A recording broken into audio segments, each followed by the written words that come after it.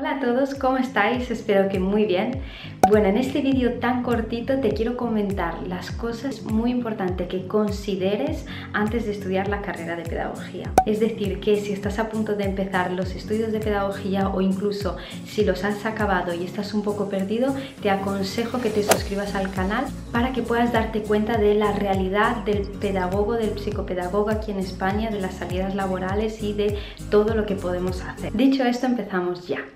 Considera estudiar la carrera de pedagogía si te interesa todo lo que tiene que ver con la educación, independientemente de la edad a eh, la que tú quieras dirigirte, ¿vale? Lo bueno de la pedagogía es que si a ti te interesa trabajar con adultos, puedes trabajar con adultos. Si te interesa educar y seguir formando a personas también de la tercera edad, puedes hacerlo. Y por supuesto, si te gusta trabajar con niños, también puedes eh, considerar estudiar esta carrera. Considera estudiar esta carrera si te interesa todo lo que tiene que ver con el proceso de enseñanza, aprendizaje dentro del aula o de un ámbito en específico. Por otro lado, considera estudiar pedagogía si eres una persona que eh, te gusta escuchar a las demás personas, si sabes resolver problemas y crear estrategias para desarrollar habilidades en otras personas. Y por último, considera estudiar esta carrera si te ves trabajando en algún centro educativo,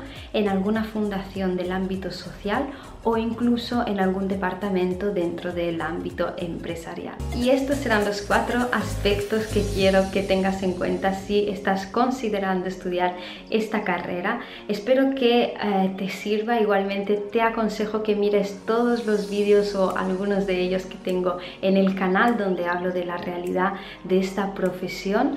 Creo que te podrán servir. Y cualquier duda, comentario, dejádmelo en los comentarios y nos vemos muy pronto en otro vídeo. Chao.